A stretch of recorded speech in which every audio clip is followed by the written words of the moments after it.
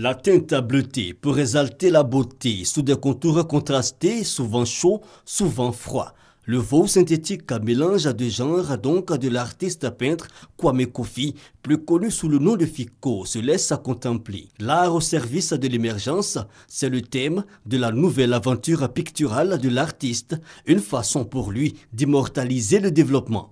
Nous ne pouvons émerger que par nos valeurs. Nous devrons appuyer sur nos propres valeurs, nos ressources, notre euh, économie à nous pour pouvoir émerger.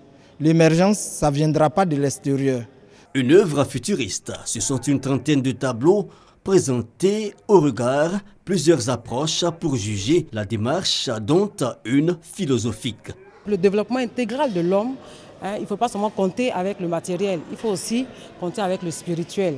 Et ça, c'est la démarche de l'artiste, au plan éducatif, au plan politique, au plan sociologique, au plan Hein, religieux, alors il faut éveiller les consciences hein, de tout et chacun pour ne pas que l'émergence ou alors le progrès que nous souhaitons se met en régression. Les arts plastiques pour contribuer à l'émergence, l'exposition de FICO prend fin le 15 mai prochain.